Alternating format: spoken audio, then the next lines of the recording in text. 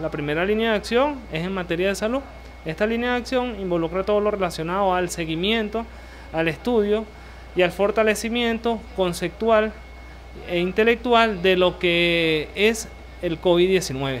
A su vez, hemos estado trabajando también en aspectos como la reparación de equipos médicos y también en materia de innovación. Con este diseño solamente se necesita este material y la liga con la que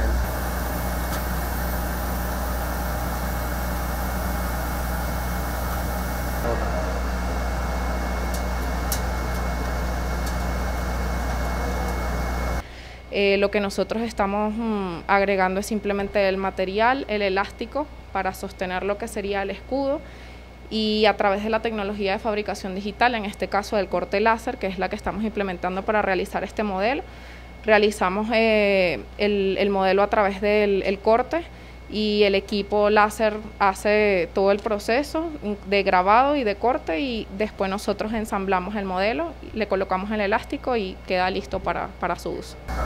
Ah, pues bueno, vamos a ver ahí. Eso no es nada.